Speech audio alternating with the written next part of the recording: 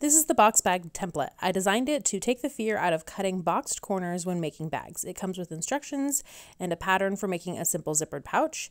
Here's how you use it. You measure your corner and using a regular 45 millimeter rotary cutter, you just cut into your fabric. The template protects your fabric, making sure you don't cut too far, you don't ruin your fabric at all, and it cuts that perfect square the size you measured.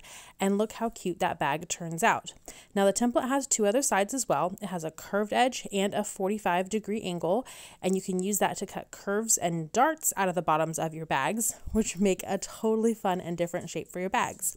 So using that same 45 millimeter rotary cutter, we're just cutting a curve out of the bottom of the bag. And then in this case, I'm cutting just a little one and a half inch dart.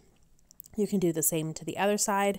And it's so quick and easy to cut your curves and then cut your darts to be able to make your bags.